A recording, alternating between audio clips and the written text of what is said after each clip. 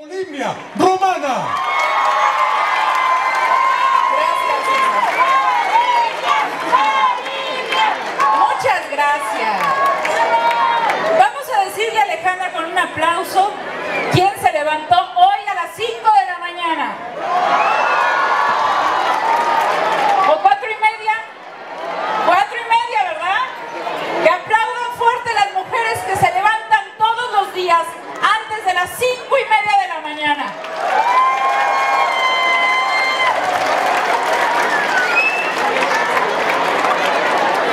Muchas gracias por estar aquí. Muchas gracias regalarnos un poco de su tiempo. Pero también muchas gracias a quien ha hecho posible que estemos aquí. Y ese es nuestro diputado Leonel Luna.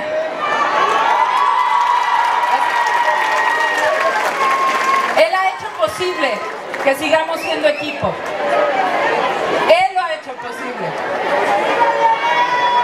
Pero también tenemos que decirle a una mujer va a ser muy importante, ya es importante, pero va a ser muy importante en Álvaro Obregón, porque Álvaro Obregón es la tercera delegación más grande de la Ciudad de México. Ella es Alejandra Barrales, nuestra próxima jefa de gobierno,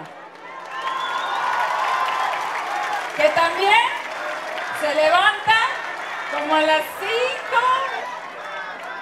5, 5 de la mañana.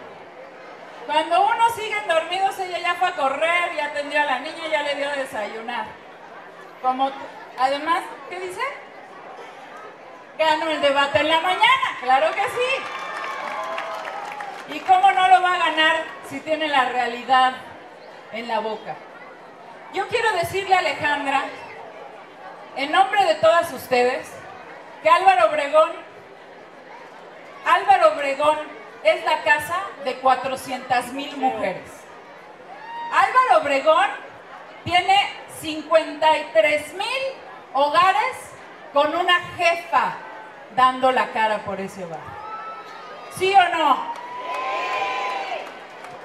Álvaro Obregón es una delegación con paisajes divinos, con zonas muy hermosas, con pueblos, con barrios, con colonias. Tenemos barrios como el pueblo de Santa Fe, de 1532.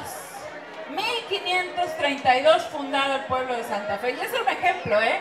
Leslie ya les dirá de Santa Rosa y San Bartolo, que también son pueblos originarios.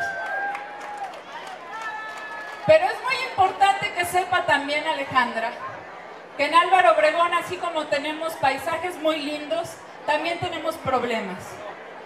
Y un problema muy grave es que el 30% de la población vivimos en pobreza. Eso quiere decir que por lo menos tenemos una carencia, por lo menos. Álvaro Obregón es una delegación llena de mujeres trabajadoras, pero que tenemos miedo cuando en la noche regresamos a casa. Tenemos miedo que nuestra hija que va a la secundaria y que le tocó el turno de la tarde regrese sana y salva. Pero por eso estamos aquí, porque no nada más estamos aquí para escuchar, sino para, proponer. Y una de las propuestas principales que tiene un aspirante a diputada federal es darle a Alejandra las herramientas necesarias para que ponga en marcha lo que tiene pensado. Alejandra no es como nosotras, no somos improvisadas. Todos los días tenemos un plan, todos los días tenemos el plan de sacar adelante nuestra casa. Pues Alejandra no es improvisada. Alejandra tiene un plan maestro para la Ciudad de México. Es una profesional. Pero Alejandra va a necesitar muchos recursos. Y de eso nos vamos a encargar nosotros desde el Congreso de la Unión. Vamos a garantizar que ella tenga lo que se necesita para poner en marcha la seguridad en Álvaro Obregón y toda la ciudad. Para que ponga en marcha programas que están destinados a quienes llevamos el hogar, a quienes llevamos a nuestra familia. Y les voy a decir, las campañas, como ya se los platiqué muchas de ustedes, son para comparar. En las campañas comparamos colores, comparamos caras, comparamos ideas y propuestas. Algunos no tienen propuestas o algunos vienen de paso y les voy a dar un tip, cómo identificar quién viene de paso y quién se quiere quedar. Quien le apuesta a los niños es porque se quiere quedar aquí muchos años. Quien le apuesta a la infancia en la Ciudad de México quiere decir que quiere vivir aquí muchos años. Quien no le apuesta a los niños viene de paso. Quien no le apuesta a las mujeres solo viene a parlotear. Y nosotros lo que necesitamos son soluciones para nuestros problemas. Pero además no nada más necesitamos que atiendan esos problemas, sino que ayuden a que vayan desapareciendo poco a poco de Álvaro Obregón. Necesitamos recuperar nuestra delegación. La seguridad en el país se desató. Se desató la inseguridad dentro de las casas y fuera de ellas. Las mujeres vivimos violencia, violencia dentro y fuera de nuestros hogares. Tenemos que detenerla. ¿Y cómo vamos a detener la violencia intrafamiliar? Con educación, pero sobre todo con trabajo. Necesitamos que las mujeres en Álvaro Obregón sean independientes, que tengan sus propios recursos para que salgan adelante por ellas solas. Con recursos una mujer se puede defender. Con recursos una mujer puede hacer que sus hijos entren a la escuela y la terminen. Queremos que en 20 años los niños que traen hoy cargando digan, yo tengo escuela, acabé mi secundaria, acabé la prepa, estoy en la universidad, porque mi mamá tuvo las herramientas que necesitaba para sacarme a mí y a mis hermanos adelante. De eso se trata el Frente por México, de unir esfuerzos, de unir herramientas y de, unir talentos para trabajar por ustedes. Yo lo que vengo a hacer aquí es pedirles que me permitan representarlos en la Cámara de Diputados Federal. Eso es lo que vengo a pedirles. Y vengo a ofrecerles todo mi tiempo durante tres años, no en campaña. Muchos van a venir a decirles muchas cosas, pero a veces llegan al poder y les da miedo porque la tarea no es sencilla. Alejandra no la va a tener fácil. Es muy complicado sacar adelante una ciudad. Los más débiles la abandonan, pero las mujeres no abandonamos, las mujeres no nos rendimos y las mujeres seguimos, aunque nos tropecemos, aunque nos tropecemos. Nos volvemos a levantar, volvemos a dar la cara por lo que más nos preocupa, que son nuestros hijos. Y por eso yo estoy aquí, por los hijos de Álvaro Obregón. Agradezco otra vez su tiempo, agradezco otra vez el tiempo que nos dedican para escuchar, pero lo que más agradezco es lo que voy recogiendo en los recorridos y en las reuniones. Sus preocupaciones y sus propuestas. Sin esas no seríamos nada. Sin la realidad en las manos no podemos ir a votar al Congreso de la Unión. Necesitamos la realidad que ustedes nos van a dar y la realidad que nos da caminar las calles de Álvaro Obregón, así como hoy estamos caminando desarrollo urbano. Muchas gracias y nos vemos muy pronto porque esto apenas empieza. Gracias. Olimpia Romana, muchas gracias por nuestra próxima jefa de gobierno. Con ustedes, por ustedes, Alejandra Barrales.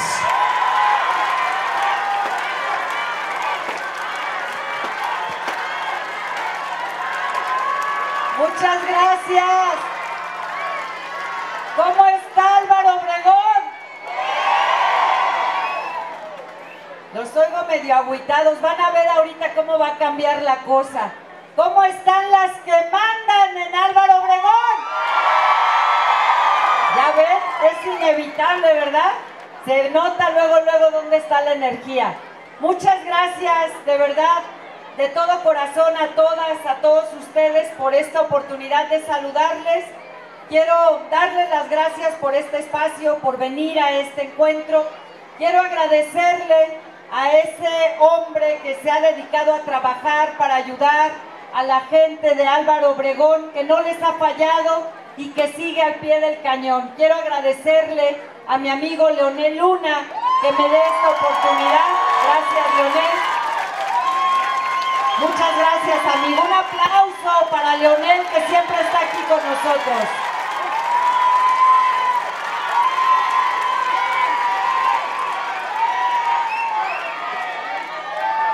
Quiero saludar también a, a otras mujeres que igual que muchas de las que están aquí, son mujeres valientes, trabajadoras y comprometidas. Saludo a Polibnia, una amiga de muchos años, Polibnia Romana, a Leslie que también está aquí con nosotros.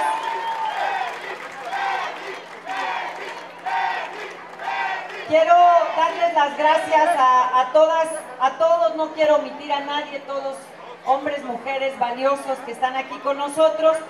Y quiero decirles que es muy importante este encuentro que tenemos el día de hoy, porque vengo a comprometerme otra vez con ustedes, como lo he hecho en muchas ocasiones, que vamos a trabajar y que no tengan duda, porque nos está yendo muy bien en las mediciones, nos está yendo muy bien en la preferencia de la gente de esta ciudad y les vengo a reiterar, vamos a ganar la jefatura de gobierno, no tengan la menor duda, lo vamos a lograr con el apoyo de todas y de todos ustedes.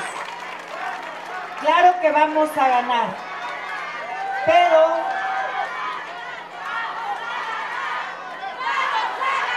vamos a ganar sin duda.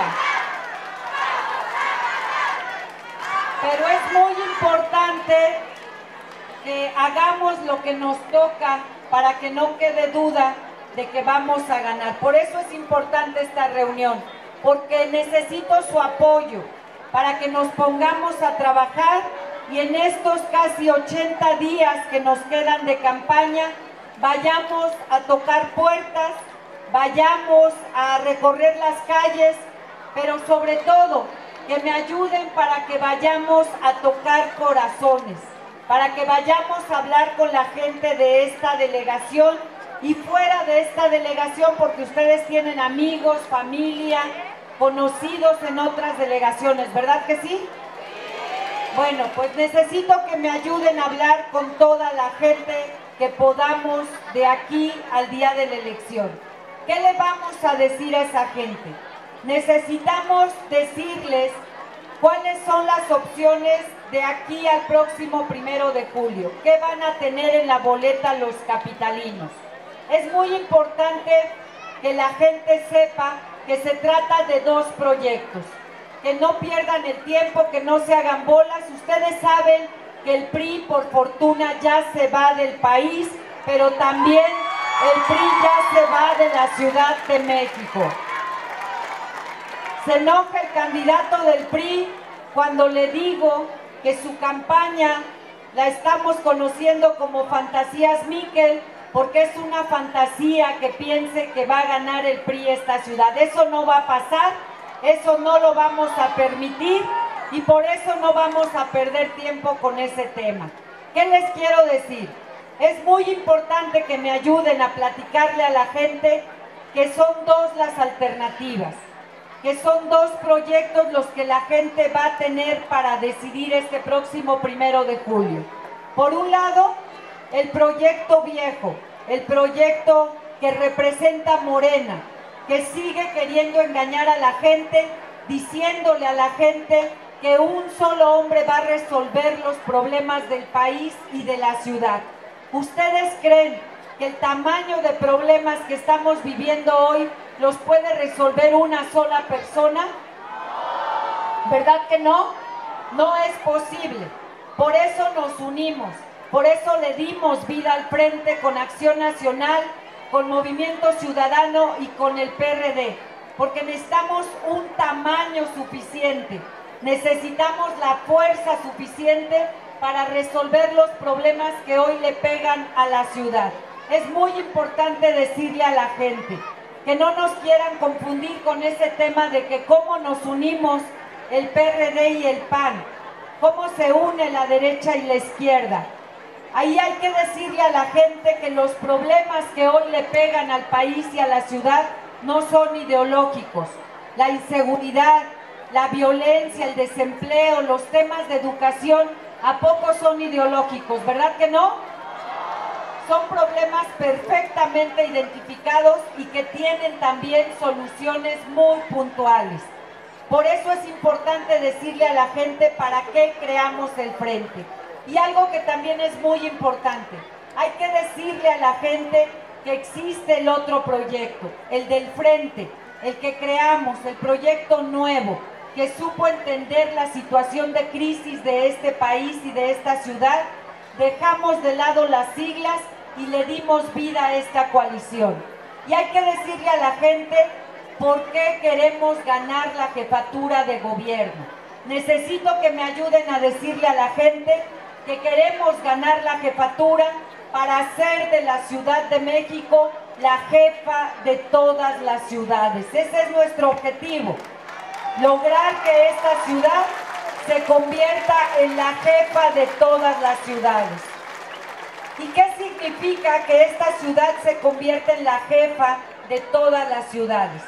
Para que eso pueda pasar, ustedes lo saben muy bien, primero necesitamos recuperar la paz y la tranquilidad en las calles de toda nuestra ciudad.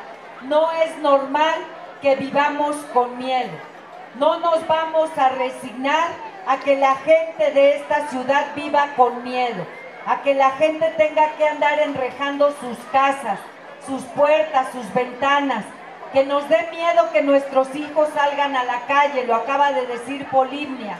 No es normal y no vamos a aceptar que desaparezcan nuestras niñas y nuestras mujeres por el simple hecho de ser mujeres.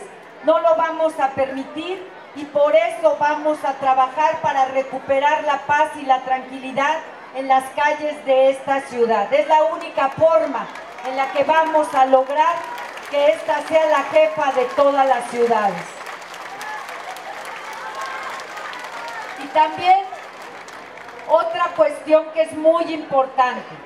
¿Cómo podemos combatir lo que hoy más le pega a la gente? La inseguridad. Sí es cierto, vamos a fortalecer nuestra capacidad de reacción, la policía mejor capacitada, la mejor pagada también. Vamos a recuperar la confianza en nuestra policía, pero también tenemos que recuperar lo más importante, el valor que tienen nuestros hijos y nuestros jóvenes, los niños y los jóvenes de esta ciudad. Por eso acabo de anunciar hace unos días ante 20 mil mujeres de esta ciudad lo que va a ser una de nuestras políticas más importantes, lo que vamos a trabajar para ayudar a las familias de esta ciudad.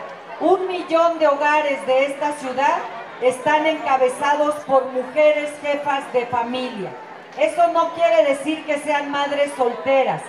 Eso quiere decir que son las mujeres las que llevan el dinero a la casa. El marido puede estar enfermo, el marido pudo haber fallecido o simplemente somos las mujeres las que tenemos que llevar el dinero a la casa. Un millón de hogares. Anuncié esta pasada semana que vamos a ayudarlas con varias acciones. ¿Qué vamos a hacer? Me he comprometido cuando llegue a la jefatura de gobierno a crear la red más grande de estancias infantiles que jamás hayamos tenido antes en este país. Necesitamos guarderías para nuestros niños. Necesitamos espacios para guardar, para tener a nuestros niños seguros, para que estemos las mujeres trabajando, para que vayamos a terminar la escuela, para que simplemente podamos también tener vida propia las mujeres. Por eso también anunciamos que cuando llegue la jefatura de gobierno en esta ciudad, las empresas de esta ciudad que tengan más de 20 empleados van a estar obligadas a destinar un espacio para convertirlo en estancia infantil. El gobierno les va a ayudar, pero van a comprometerse los empresarios a que haya este espacio para los hombres y las mujeres de la ciudad, porque esto también es para los hombres. son menos, pero también hay hombres que se hacen cargo de los hijos porque a veces no existe la mamá. Es muy importante garantizar que los niños estén bien cuidados. Y algo que también pude anunciar, porque no se trata solo de un programa de asistencia para las mujeres, es una política bien pensada, porque como lo dijo César, que me presentó hace un momento, aquí no hay improvisaciones. Yo me he preparado para gobernar esta ciudad y para gobernarla bien. A mí no me mandaron a ser candidata. Yo no salí de ninguna tómbola. Yo he trabajado y me he preparado para ser el mejor gobierno que hayamos tenido en esta ciudad. Por eso tengo claro que vamos a hacer por las familias de esta ciudad. Y he anunciado que vamos a desplegar la red de trabajadoras sociales más grande también de toda la ciudad. ¿Qué van a hacer esas trabajadoras sociales? Esas mujeres van a ir a visitar los hogares de esta ciudad. Van a ir a visitarlos porque en mis recorridos me he encontrado a niños de 8, de 9 años y cuando platico con ellos me dicen que no van a la escuela. Les pregunto si van a la escuela y me dicen que no van. Cuando hablo con sus papás les pregunto por qué esta niña o este niño no va a la escuela. Imagínense, me dicen los papás a veces que no van porque no encuentran su acta de nacimiento o porque no encuentran la boleta del año anterior. ¿Ustedes creen que se vale fastidiarle la vida a esos niños porque no encontramos los papeles de la escuela? ¿Verdad que no? Bueno, pues les quiero decir que esas trabajadoras sociales van a ir a garantizar que todos los niños de esta ciudad vayan a la escuela. Van a ir a identificar problemas de adicciones y nos van a ayudar en una parte que es muy importante, porque lo quiero decir y ustedes me van a ayudar a pasar la voz. Cuando me convierta en jefa de gobierno de esta ciudad, los padres y las madres de todos estos niños en la ciudad van a tener sí derechos, pero también van a tener obligaciones. Me voy a encargar de que en esta ciudad no haya más niños abandonados. Así que díganle a los papás, díganle a esos papás que les gusta andar teniendo muchos hijos, que nos da mucho gusto, que tengan todos los hijos que quieran, pero nos vamos a encargar de que los mantengan. El que no mantenga a sus hijos, lo vamos a responsabilizar. No queremos más niños abandonados en esta ciudad.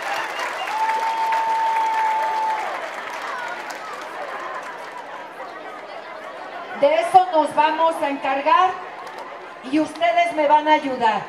Pude informarle a estas mujeres en este evento hace unos días que les vamos a ayudar, como lo dijo Leonel, como lo dijo Polibnia. Es muy importante que empoderemos a las mujeres de esta ciudad.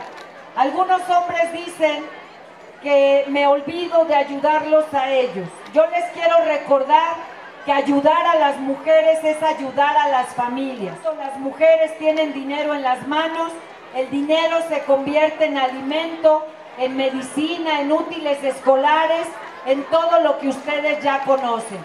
Por eso, por eso nos comprometimos a que ese millón de hogares que están encabezados por mujeres, les vamos a dar una transferencia económica de 2.500 pesos mensuales. Las vamos a ayudar con ese apoyo económico para que estén al cuidado de los hijos. Necesito que me ayuden a defender todos estos programas, esta política de apoyo para las mujeres, porque los de Morena están muy enojados, están descalificando nuestro programa. Hoy en la mañana, que ustedes seguramente vieron, tuvimos un encuentro con la candidata de Morena. Ella decía que no había manera de que el dinero alcanzara para este programa para apoyar a las mujeres, que las matemáticas no le daban. Pero al mismo tiempo que dijo eso, que este programa costaba 30 mil millones de pesos, que sí es cierto, lo que decía es que se comprometía a hacer un plan de austeridad. Ya saben, de esta falsa austeridad, que dicen austeridad, pero los que terminan pagándola son los trabajadores del gobierno de esta ciudad, les quitan prestaciones, les quitan salario y dicen que es austeridad. Pues ella dijo que con este plan de austeridad de inmediato iban a conseguir 25 mil millones de pesos. Es una incongruencia, pero lo que demuestra es que están enojados porque saben que estamos diciéndole a la gente lo que la gente está esperando y lo que la gente está necesitando. Así que ayúdenme a defender este programa para que vayamos a hacerlo realidad y así como hicimos el de adultos mayores, que le cambió la vida a los adultos mayores de esta ciudad, vamos a cambiarle la vida a ese millón de familias que hoy lo necesitan en esta ciudad. ¿Me van a ayudar a hacerlo? ¿Vamos a trabajar para lograrlo? Bueno, les quiero decir para terminar, es muy importante que me ayuden a decirle a la gente que en esta elección no solo se va a tratar de decidir qué mujer queremos que gobierne esta ciudad. Es cierto, va a ser una mujer, pero es muy importante que veamos qué mujer es la que vamos a poner al frente de este gobierno. Y yo ya lo he dicho, exacto, necesitamos una mujer que tenga las faldas bien puestas, para tomar las decisiones que esta ciudad requiere y esa mujer se llama Alejandra Barrales. Necesito que me ayuden, que le digamos a la gente, esta ciudad no necesita a una mujer que vaya a pedir permiso para tomar las decisiones que requiere esta ciudad. Esta ciudad no le sirve una mujer que cuando ve problemas, cuando ve crisis, se esconde y se echa a correr. Ustedes pueden asegurarle a la gente que vean que Alejandra Barrales, cuando tiene problemas enfrente, cuando su gente, cuando mi gente me necesita, yo estoy siempre para dar la cara y estoy siempre para sacar adelante a la gente de esta ciudad. Y me voy a morir en la raya para sacar adelante a la gente de la Ciudad de México, porque esta es nuestra ciudad. Estoy orgullosa de ser chilanga. Estoy orgullosa, como muchas y como muchos de ustedes, estoy muy orgullosa de haber empezado desde abajo. A mí nadie me ha regalado nada como a ustedes. Yo sí sé lo que significa levantarse de madrugada, Sí sé lo que significa tener miedo de recorrer una calle sola porque no hay transporte. Sí sé lo que significa tener que decidir entre desayunar o agarrar el pecero. Pero también sé lo que significa formarse objetivos y trabajar para alcanzarlos. Y les digo con claridad, todo lo que me he propuesto lo hemos alcanzado y hoy la ruta está muy clara. Con el apoyo de ustedes me voy a convertir en la próxima jefa de gobierno de esta ciudad. No tengan la menor duda porque lo vamos a lograr. ¡Que viva el frente! ¡Que viva la gente de Álvaro Obregón! ¡Que vivan las mujeres de Álvaro Obregón! ¡Que viva Leonel Luna! Muchas gracias, hasta la victoria y que Dios me los bendiga. Muchas gracias. ¡Viva Alejandra Barrales! Bueno, ahí están nuestros candidatos. un buzón, también un buzón de parte de Araceli Torres, que entrega este buzón de quejas.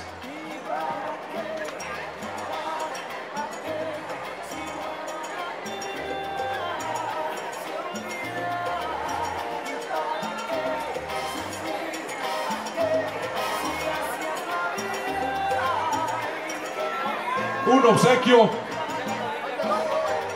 y también el buzón de la colonia Desarrollo Urbano, un buzón de propuestas, un buzón de los vecinos para la próxima jefa de gobierno. Amigas y amigos, estuvo con ustedes y aquí se va a quedar Alejandra Barrales, nuestra próxima jefa de gobierno. Muchas, muchas gracias. Gracias Álvaro Obregón. Seguimos por la Ciudad de México al frente. Vamos a ganar. Vamos a ganar.